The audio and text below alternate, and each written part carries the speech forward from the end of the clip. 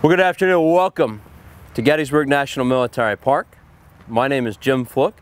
I'm one of the seasonal rangers here at the battlefield, and so I have the uh, privilege of giving these programs uh, over the summer months. And this afternoon, we're going to be talking about Cemetery Hill. A young man who is surveying these fields just after the battle and will be a part of placing the Soldiers National Cemetery right here. David Wills is going to call this the most important point on the field. He is not alone in that estimation. Commanders on both sides will identify this as the key terrain.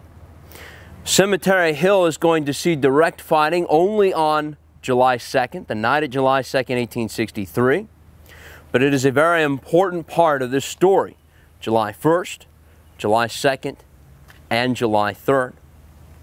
We'll start out with the story of July 1st, if everybody will turn around for me. Take a look at this monument right here. Anybody recognize that fellow?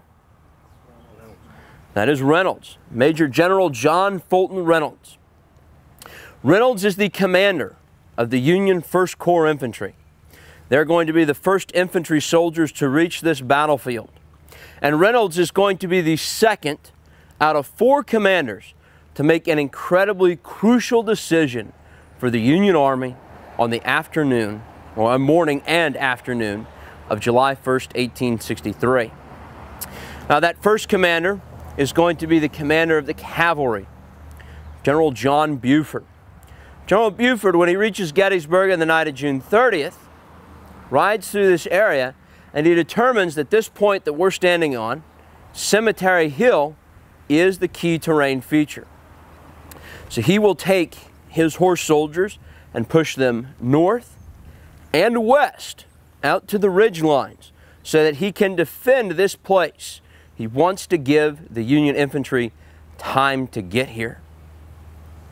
It is called Cemetery Hill in 1863 because of the town cemetery. If you look behind you and to your right, that is the Evergreen Cemetery, established by the town of Gettysburg in 1854. Otherwise, this is a bald hill. The soldiers who would fight here say that it stuck out like a sore thumb. You ever uh, hit your thumb with a hammer? No? You're careful in, in your uh, hammering work. Anybody else ever hit your thumb with a hammer? Yep. It's one of the things we, most of us do anytime we use a hammer. What happens? Hurts. it hurts? Swells. Poofs or swells up. That's the analogy that the soldiers here use to describe this area of the battlefield. As we visit today and as we look around us, we see a lot of trees. But in 1863, Almost all of these trees are not yet planted. This is what makes it a commanding position. And there are two other things that are going to be very important that are right next to this hill. One of them is right here. It's called the Baltimore Pike. Does anybody know where the Baltimore Pike leads? Hint, it's a trick question. I think I heard it over here. Washington, D.C. If you stay on this Baltimore Pike, it becomes Georgia Avenue in Washington, D.C. Now it is also called Baltimore Pike because it could take you to Baltimore. But when we think about the Union Army, the importance of this road is that it leads you to Washington, D.C. That's the nation's capital. In other words, this is the communications line of the Union Army. They want to have that protected at all times. How many people walked in the cemetery from the other gates today? Okay, those other gates are along Taneytown Road. Does anybody know where the Taneytown Road goes to in addition to Taneytown, Maryland? This one's harder. No. Nope. Those are both north. We want to think south. Good guess, right? Think of home. No, it's going to take you to a place called Westminster, Maryland. And the important thing about Westminster, Maryland, this is where the supplies of the Union Army are located. So this hill, in addition to being key terrain, controls very two important roads. Roads which lead toward the nation's capital, roads which leads towards the supplies of the Union Army. General Buford has decided this is a key point, pushes north, pushes west. When General Reynolds comes onto the battlefield at about 10 a.m. that day, he makes the same decision, and so he puts the infantry out west of town. As Reynolds is sending soldiers directly into the fight, he is going to be hit. He will be killed on this battlefield, perhaps within an hour of arriving. And so he has passed from command, and that command is going to devolve. It's going to go down to Major General Oliver Otis Howard. General Howard is going to bring up the 11th Corps of the Union Army. Howard now has an important decision to make. Does he want to stay here and fight? Does he want to move elsewhere? You follow me, we're going to cross over the Baltimore Pike. We're going to talk about General Howard's decision, his leadership here on the afternoon of July 1st, and also what the Confederate Army thinks of this position. Let's start out with what this place looked like. So you got a picture of Cemetery Hill that is taken just a few days after the battle. And I'm going to pass this around for everyone. That way you don't have to squint too hard here. A couple of things that you will notice. You will note the rock walls, which we can see still today. And you also get a pretty good idea that it's almost barren. We have only one tree. This photograph is taken probably from the vicinity of the gatehouse. As we look to the right, that's the second and larger brick building. And so perhaps one of those trees that we see along the wall there was here. We get an idea that it's pretty open. Now we have had some changes to the landscape. We are not at the north end of the hill as the north end existed in 1863. There would be another field behind you, and then there would be a rock wall on the opposite side of this parking lot. So the way that we see this distance from rock wall to rock wall, imagine that once more behind you. Major General Oliver Otis Howard has an equestrian monument just behind me here. He is the commander of the 11th Army Corps. He is now in command of the Union soldiers. There are now 17,000 soldiers here at the Battle of Gettysburg. For the Union Army, there are 27,000 soldiers here for the Confederate Army. If you had a choice, would you generally prefer to have 17,000 soldiers or 27,000? 27. 20, quick response. He wants to have more soldiers. Not only does the Confederate Army have more soldiers, but they keep finding the end of the Union line. By 4 o'clock, they are going to cause those 17,000 Union soldiers to move into a full retreat. This retreat is going to be taking place through the town of Gettysburg. Now you may have noticed that when we crossed the street, as we walked through the grass, we started to string out just a little bit, right? This is what happens to large groups of people. They don't stay in a tight, compact formation. The same thing is happening to soldiers. Soldiers are used to fighting shoulder to shoulder in long lines, two ranks deep but they cannot do this through a town. So the Union soldiers are breaking down into groups. They're trying to rush. They're trying to get back to this point, Cemetery Hill, which has now become a rally point. Here to superintend that, to meet them, is going to be General Howard. He says, After an examination of the general features of the country, I came to the conclusion that the only tenable position for my limited force was the ridge to the southeast of Gettysburg, now so well known as Cemetery Hill. Even though he's identified it, he's going to have to be able to defend it. He has thousands of soldiers streaming backward. He has to reorganize them, get them ready to fight again. He spies a young sergeant with the colors moving toward the rear. Grabs this sergeant, Sergeant, plant your colors at the wall. Remember, there's one more wall, so he's not talking about right here, about another 50 yards to our north. Now, it appears that this young sergeant does not recognize the Major General. He responds to him by saying, Only if you go with me.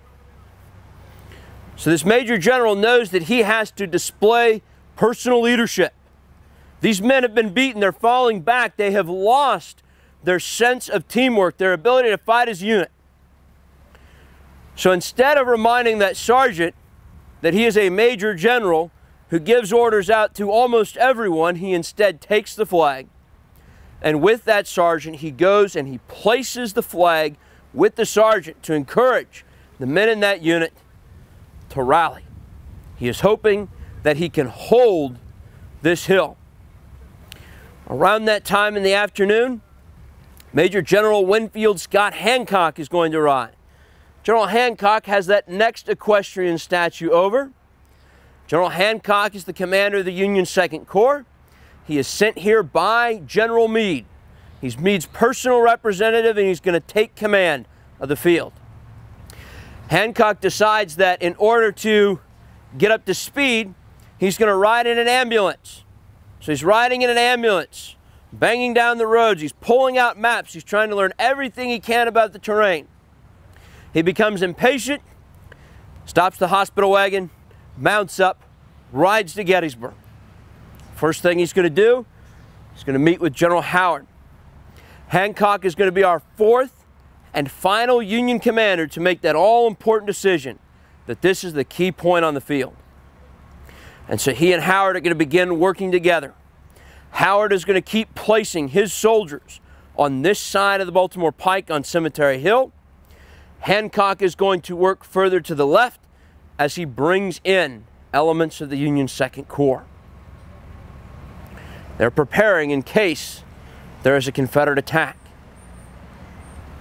I had mentioned earlier that 27,000 Confederate soldiers come onto the battlefield on July 1st.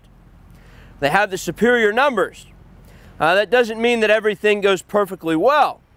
The Confederate Army is going to have its own challenges in leadership and in coordination. One of the most important is going to take place in the evening. At about 5 p.m., an order comes to Major General Richard Stoddert Ewell. General Ewell is in command of the 2nd Army Corps. The order tells him to take Cemetery Hill if practicable, but do not bring on a general engagement. How many of you find that clear as mud? All right, let's break it down because there are two very important pieces. Let's start with the easy piece. Do not bring on a general engagement. Lee is communicating to Ewell something that Ewell already knows. Do not bring on a general engagement means make sure that Lee still has options. If the attack is made, the two enemies should not be in such close quarters that they have to keep fighting the next day. Lee is telling Ewell, make sure I have a full range of options. Attack, defend, maneuver. So he's keeping his options open. Lee always believes as much as possible in trying to seize the initiative. He wants to be acting, not responding. The more challenging part of that order is take Cemetery Hill if practicable. I want to give you another story of the command experience Ewell has had this day. This is his first significant battle as a lieutenant general in command of 20,000 soldiers. Now, earlier on July 1st, he's going to receive an order telling him to concentrate in the Gettysburg Cashtown vicinity. Anybody been to Cashtown? No, it's about 14 miles out to the west. So they're near on a map but not exactly the same point.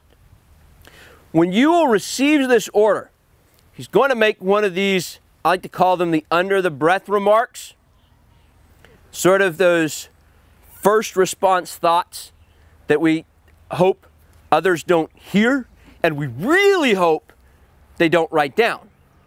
And I can tell by smiles that some people identify with this. The others who aren't smiling, I'm going to guess you identify as well, but don't wish to share. On getting this order to go to two different places 14 miles apart, you will say, Why can't a commanding general have someone on his staff who can write an intelligible order? That was in the morning. Now he is going to get this order that says to take Cemetery Hill if practicable. Let's see if we can take a different approach to how we might think of this. What I want to do is ask everybody to think about a 1 to 10 scale. So on a scale of 1 to 10, if you are Ewell, what is the importance of Cemetery Hill based on the language of the order? So again, the language of that order, do not take cemetery or take Cemetery Hill if practicable, but do not bring on a general engagement. So one, Lee has no concern about taking Cemetery Hill. 10, Lee absolutely has to have Cemetery Hill. So if you're Ewell, thinking about this order, take Cemetery Hill if practicable, but do not bring on a general engagement. Where do you think that falls on a 1 to 10 scale? Okay, we got a 5? Uh, seven. 7? 7? Not one end or the other, somewhere in the middle. Somewhere in the middle? A 3? 5? 3? 3? 6? Five. 5? Say four. 4? Five. 5? What do you think? Six. Four. Five. Five and a half. Five and a half. Okay, getting very detailed. Five? Five? Three? Pi, 3.14. 3.14. Well, now that's not quite pi, right? Because pi goes out for so many characters. is, but I didn't want to go. I didn't want to take up everybody's time. Good call. All right, what do you think? Scale 1 to 10. 3? 6? Five? Three or four. Three or four. Okay. So, I think we've illustrated something very well.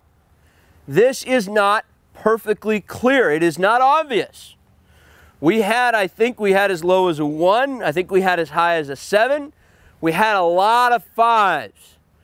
Good number of threes there as well.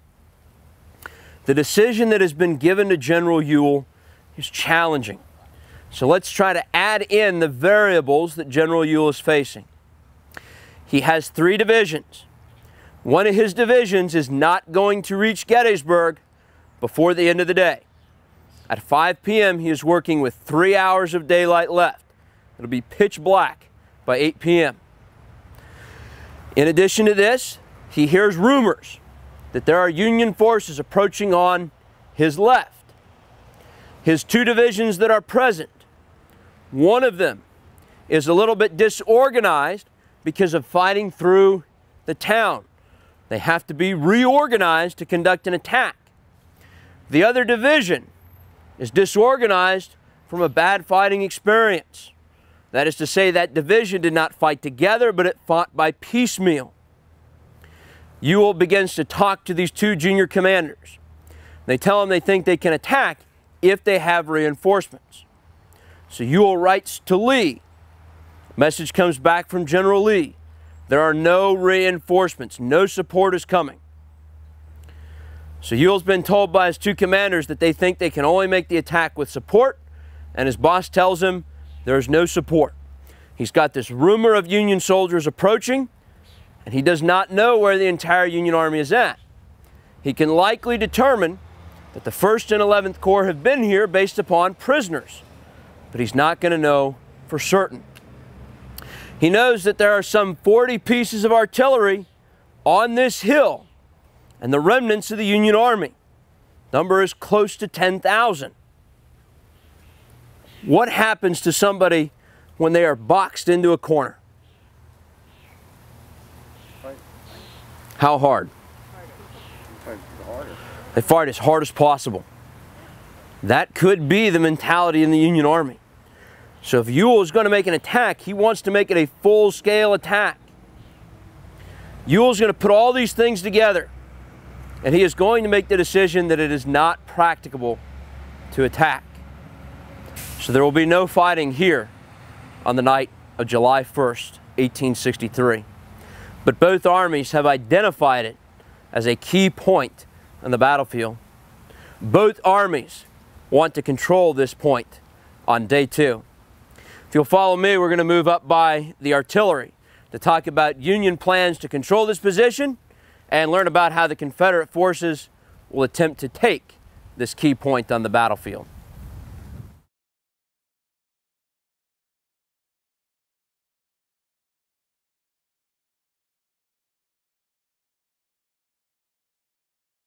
We're very fortunate to have the physical terrain of the Battle of Gettysburg because that is one of the things that enables us to understand the experience of the soldiers.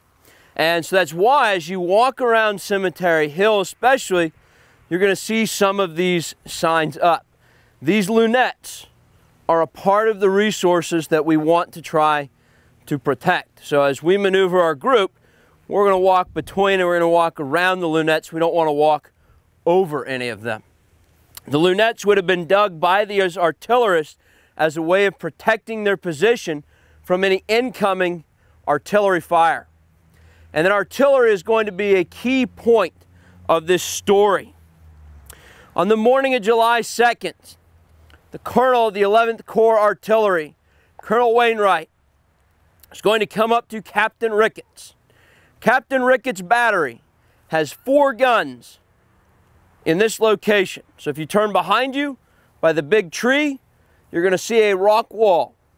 Captain Ricketts tells us he has four guns on this side of the rock wall, and his monument is that large monument off to the right where we can see the letters F and G. That's for the combined batteries. Four guns on this side, and then two guns on the north side of the wall. Ricketts is tell, told by his commander, Captain, this is the key point of our position on Cemetery Hill and must be held in case you are charged here. You will not limber up under any circumstances, but fight your battery as long as you can. You listen to that order, what has Ricketts just been told? What's that? Die. Die here if necessary. You will hold this position. It is a very important position. Uh, there's also going to be some concern. Many of these artillerists are worried about the infantrymen. The infantrymen of the 11th Corps were unfortunately called the Flying Dutch. Now, they are not Dutch the word Dutch should instead be Deutsch for German. One out of four soldiers in the Union Army is born outside of the United States. The United States is not necessarily very welcoming of others. And there's a lot of hostility towards these foreigners in the 11th Corps. They had the unfortunate reality to be in a position where they got flanked at Chancellorsville and they had an unfortunate reality of being in a position where they are flanked here on July 1st. So part of what Colonel Wainwright is telling to Captain Ricketts, you may be on your own. And the artillery has to hold. All right, let's look out to your left. Let's begin to take a look at this terrain. So as you are looking to the east, what do you see? Fields. All right, we have a clear view for a good distance. What else? It's downhill. It's downhill. We have the commanding position. What else? What other things do we see in the terrain? Maybe obstacles you'd have to cross over. Different colors of grass. Okay, different colors of grass. And if something is very green, what does that tell us? Water. Okay, so parts of that may be marshy or harder to pass. We've got some fence lines. Uh, we've got more stone walls. The road that you see there is not there in 1863, but it's still very difficult terrain. This is a commanding position. And off to your right, so directly behind me and behind those trees, we have another knoll. There's a monument there for the 5th Maine Artillery, Stevens Battery. As we move a little bit, we'll see Stevens Battery more clearly. So Stevens Battery can shoot from south to north, while the guns here shoot from west to east. There are going to be some delays in the Confederate side with the planning of July 2nd. So the artillerists who are here are going to pull out some devices, a pendulum hausse and a French ordnance glass. And what they're going to do, they're going to take the morning and the afternoon, they're just going to start firing test shots. And they're going to record where everything falls. In other words, by the afternoon, this area has been turned into a killing field. And if anything tries to cross this ground, somebody along this line wearing a blue uniform will know exactly what type of shot, how long of a fuse to make sure that something is hit at any point in our field of vision. It becomes a very dangerous zone to cross. So the Union artillerists are prepared. They are prepared by marking the field. They have been prepared to fight here to the death if necessary from that order. What are the Confederate soldiers doing this morning? If you'll follow me, we're going to move down the hill. I'm going to talk a little bit about the planning in the Confederate Army and then the attack the Confederate soldiers will make that evening. Wouldn't there be craters in the ground from the cannonballs? Oh, are there going to be craters in the ground from the cannonballs? There can be, but we don't necessarily know how large. So you do have something that may be about 8 to 12 pounds. And so, yeah, that can make a dent. Now, it is not a detonation device, so it is not going to explode on contact. Uh, it has a paper fuse. When that fuse runs out, it explodes. Now, if the artillerists do their job correctly, it should explode in the air. If something explodes on the ground, the artillerists have not done their job, and there's no detonation device. So I, it's a great question to ask. I don't know any incidences of a soldier saying that I ran into a crater from an artillery piece. Yeah. So on that uh, same theory, so the object of my cannon was really to just blow shrapnel through the area? Is that what they, if the cannonball's supposed to blow up in the air, Right. I'm just really want to shoot metal all through the air. Yes. Gotcha. How many people have been in a hailstorm? Okay, what happens to you when you duck? You still get hit, right? this is what the artillery is trying to do. They're trying to create a hail of death. So a shell should explode 30 feet above and in front, and that'll produce large chunks. A case shot is filled with little bits of metal and powder. Bigger explosion, uh, that is where the term shrapnel, that's going to be the closest association. Uh, canister is going to be golf ball sized pieces of metal. That's a short range, 400 yards or less weapon. So yeah, it's exactly about producing a large field of metal that moves. And that's how you hit a mass of moving soldiers. Now, of course, if you are planning from the opposite side, the Confederate attack, you want to be able to avoid all of that. Confederate intelligence is going to gather information very early in the morning, report back, and the orders are going to go out at about 9 a.m. The key plan calls for 14,000 Confederate soldiers to move south behind the Confederate line and then to approach the Union line by coming from south to north. This is Longstreet's Corps. It will result in the fighting that takes place at Little Round Top, Devil's Den, Peach Orchard, and Wheatfield. Now, when those soldiers begin, the artillery on this end of the Confederate line, so this is the Confederate left or north end of the line, they are to make a demonstration. Demonstration is a fancy term for making a lot of noise with your artillery. It is not necessarily an attack, but it can be converted into one. So the idea is Confederate artillery will make a demonstration, and then when possible, convert that into a full-scale assault on both Cemetery Hill here and Culp's Hill to your right front. You'll notice that Culp's Hill is significantly different from where we stand on Cemetery Hill. It is fully wooded. So there are going to be a couple of challenging attacks. There are delays in the Confederate plans, and that means that the soldiers who are to make the movement don't begin until 1 p.m. They reach their spot, they don't begin the attack until 4 p.m. So all that time up to 4 p.m., Confederate soldiers in this area can hear. They can hear axes, plates, cups being used to move dirt and terrain on Culp's Hill. They can hear as these guns fire their test shots to figure out how to hit them were they to attack. Major Goldsborough, 1st North Carolina, gives us an account of how challenging this is to the Confederate soldier. Perhaps nothing in battle is so trying to an infantryman's nerves as the patience of the preliminary artillery fire.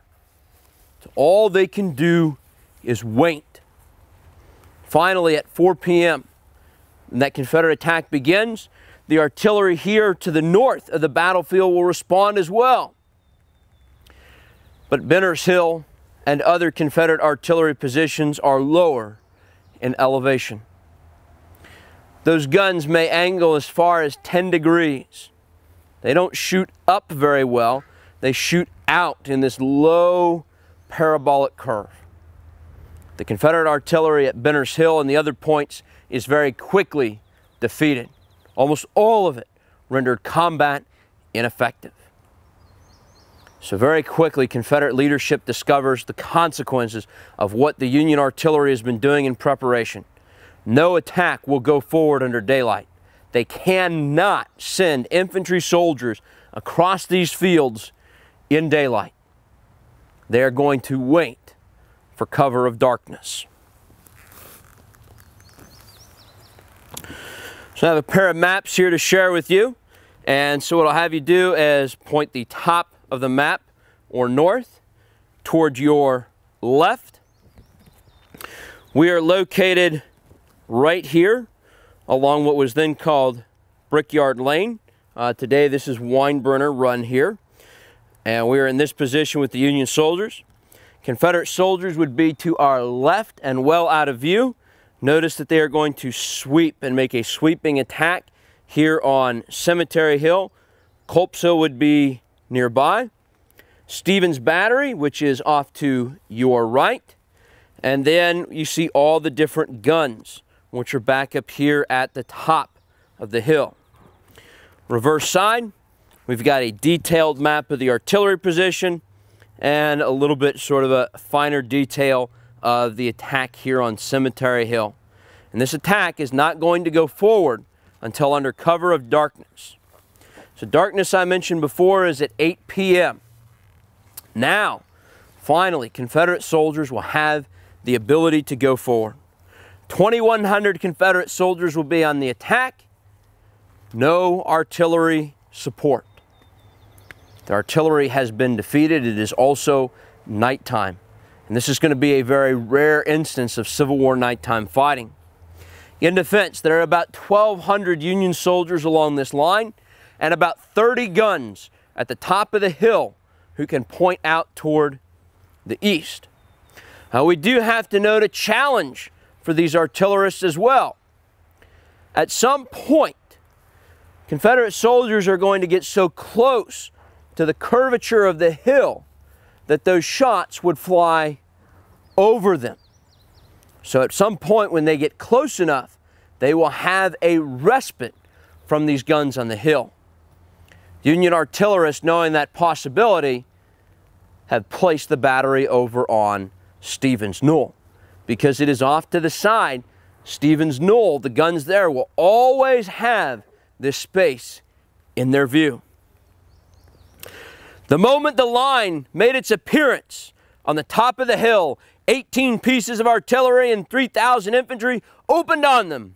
But old Harry shouted forward, and on we went over fences, ditches, through marshy fields, and we founced up at a stone fence behind which Mr. Yank had posted himself and did not want to leave.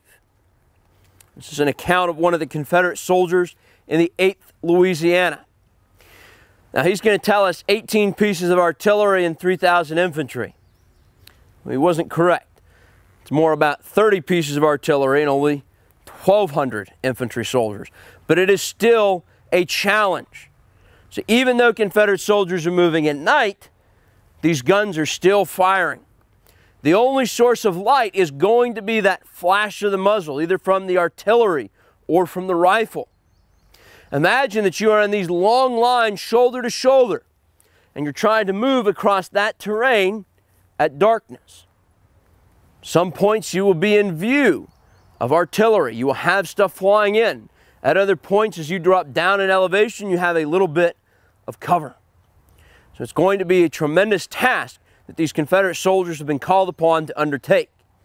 Our soldier in the 8th Louisiana tells us that as they come up to this stone wall and fence, they won't stop there. But with bayonets and clubbed guns, we drove them back.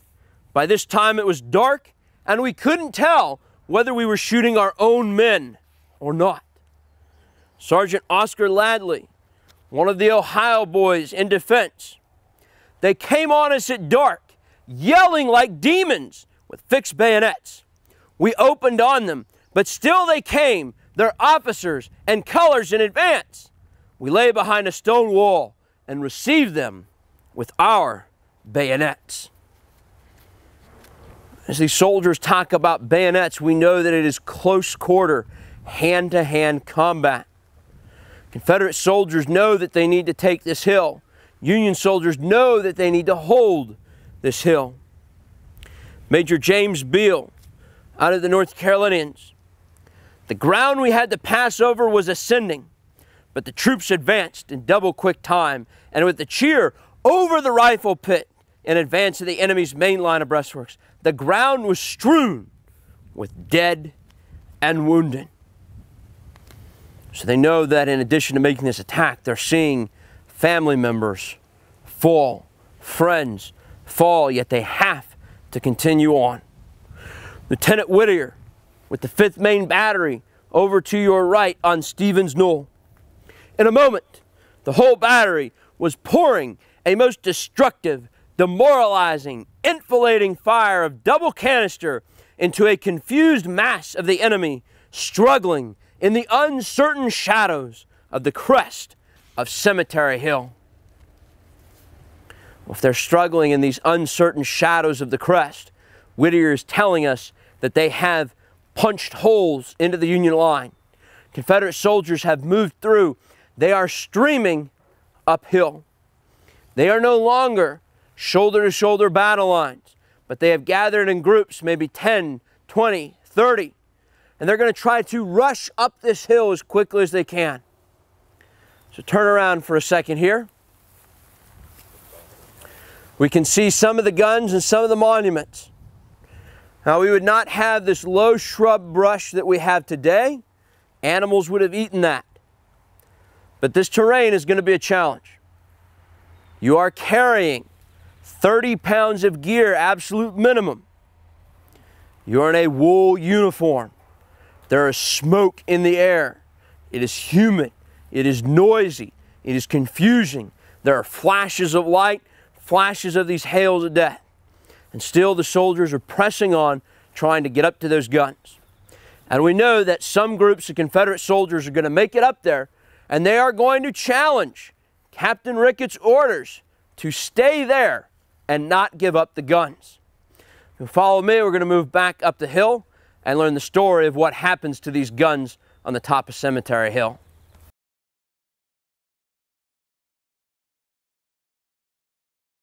So the 11th Corps again was commanded by General Oliver Otis Howard, and the symbol of the 11th Corps is that crescent moon. So especially on the monuments here, you're going to see a crescent moon telling us that that unit was a part of the 11th Corps. It would have been on their flag. It would have been on their flag as well. Now they would have carried state flags and federal flags, and that at a brigade or division level, there would have been a flag to identify that brigade or division, and it would have had the emblem.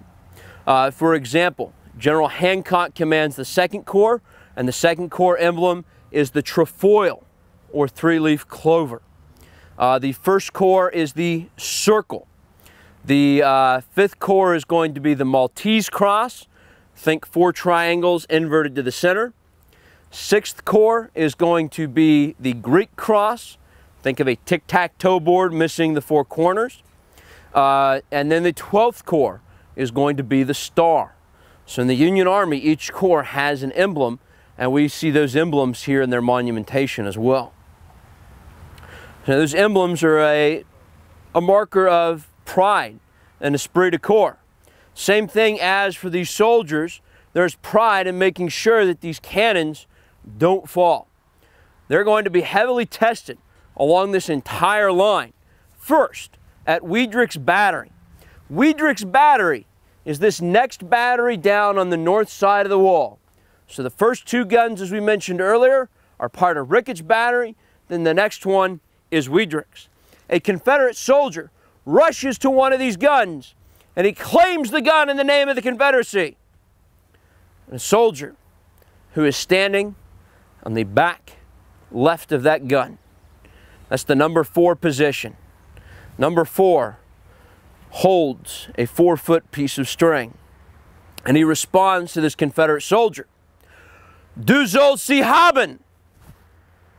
And he yanks that string. Anybody know what Du sollst sie haben means? God, here it comes. You don't have. No, it translates into you shall have it. Now, this Union artillerist is referring to the contents of the gun, not the physical possession of the gun, as the Confederate soldier had claimed. And that tells us that Confederate soldiers are in the guns. They are up close. They have broken through the infantry support, at least at some point.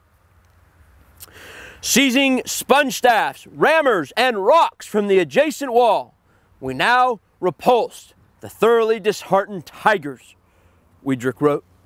Ricketts, four guns here, two guns on the other side of the wall. The boys fought them hand to hand with pistols, handspikes, and rammers. The left half of the battery was engaged in a hand to hand fight with the rebels who had leaped the stone wall, the one that you're sitting on right now. The fire was kept up by the right half, the four guns over here. So again, we have a hand to hand fighting. Confederate soldiers in groups, 10s, 20s, have gotten to the crest of this hill and are trying to capture these pieces of artillery. The Union artillerists again have been told never to retreat. They have to hold this ground. Lieutenant Brockway of Ricketts Battery is going to give us what I find to be the most fascinating story of the fighting here on Cemetery Hill. A rebel first lieutenant attempted to seize our battery guidon. So a second ago we talked about the symbols on the monuments. The battery guidon is that flag that identifies the battery. But while in act of grasping it, the bearer rode up and shot the Confederate officer.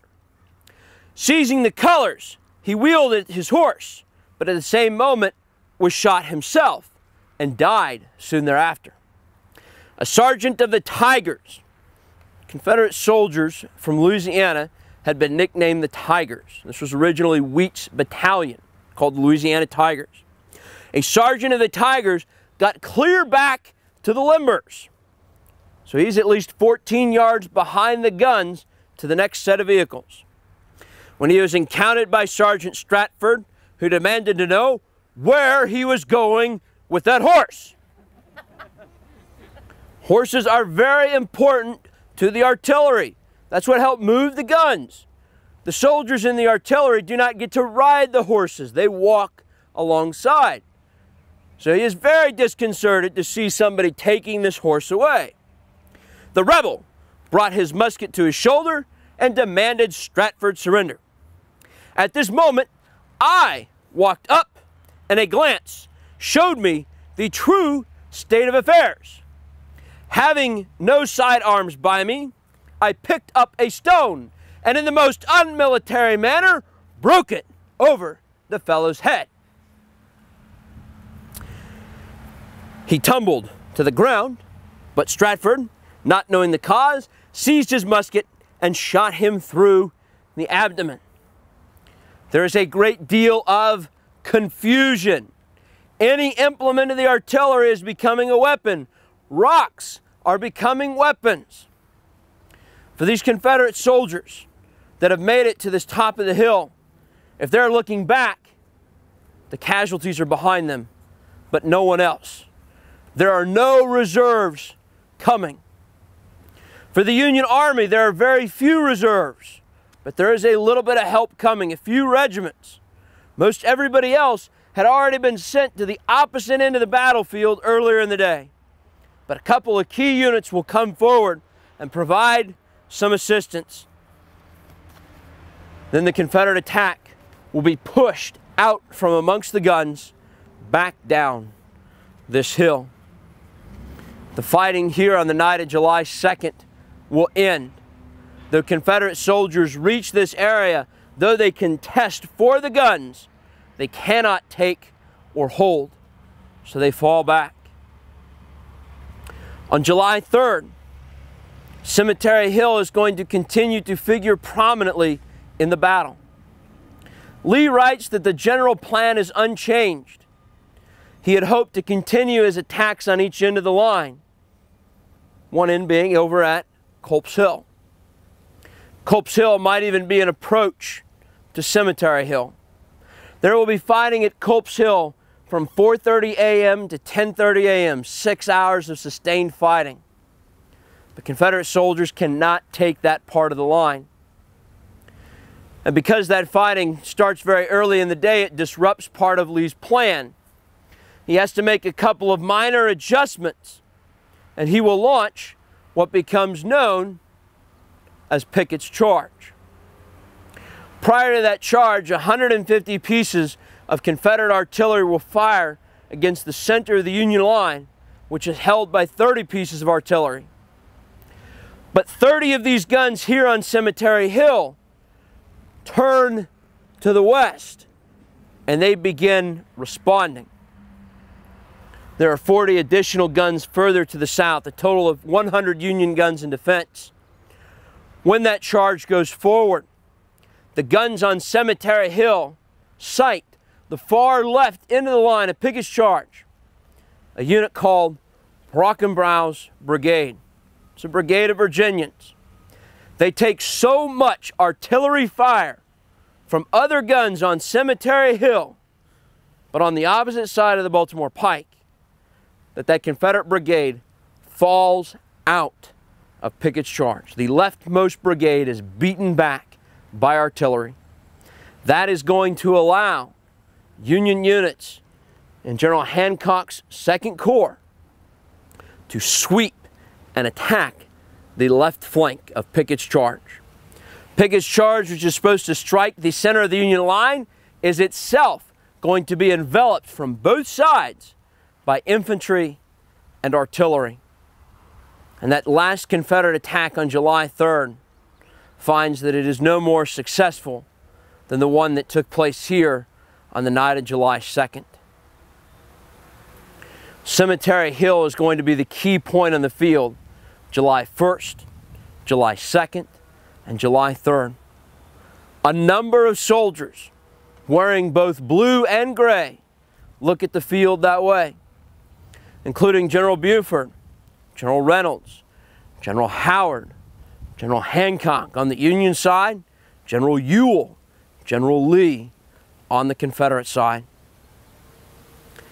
And so as David Wills, who lives here in the town of Gettysburg, as he learns about this battle days afterwards, he will write to the governor of Pennsylvania from this most important point on the field, During Thursday and Friday of the battle, our artillery dealt death and destruction to the rebel army in every direction of its advance.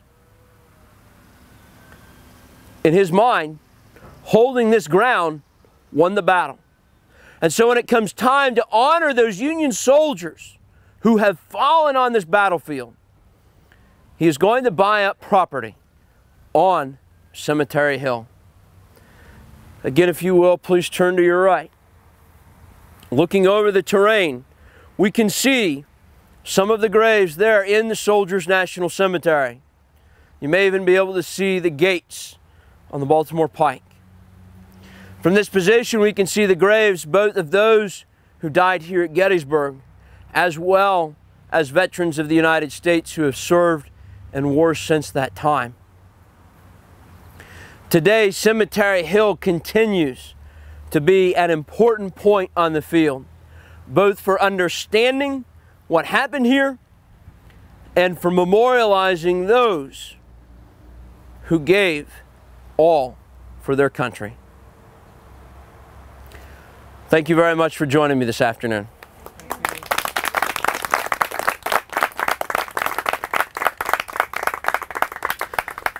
I'll be happy to take some questions. Uh, a couple other things quick. Uh, please help me thank Matt Hoosh, who is here filming these programs. You can see these programs. These are for the American public. We are putting these up on our YouTube channel. So you can get online and you can watch a ranger program from various parts of the battlefield wherever you're at. Unfortunately, it's still second to actually being on the terrain and getting to see it yourself. But this is another way in which you can learn about the Battle of Gettysburg. So we are on YouTube. We are also on Facebook as well. And I would encourage you uh, to like us on Facebook. You want to look for Gettysburg National Military Park. And you have to use all four words because there are about 10 to 20 to 30 to 40 different groups that have Gettysburg in their title. So look for Gettysburg National Military Park. Uh, we try to put up new content every day on Facebook, and we're rolling out uh, new films uh, through YouTube. So you have a great opportunity to be a part of what is happening at the park from where you're at. Anybody have any questions? Yeah. For the cannons, how many men did it take to work a cannon then? Great question. Uh, a cannon crew is going to take a total of 10 soldiers. We're going to have six soldiers right at the gun operating it in battle. We're going to have two soldiers at the next vehicle, which is the limber. And we're going to have two more soldiers at the third vehicle, which is going to be the caisson. So you're going to have three different vehicles. They're going to be spaced at 0, 14, and 28 yards from the front. So there's six guys to make that gun actually work day in and day out during the battle. It's very heavy on logistics.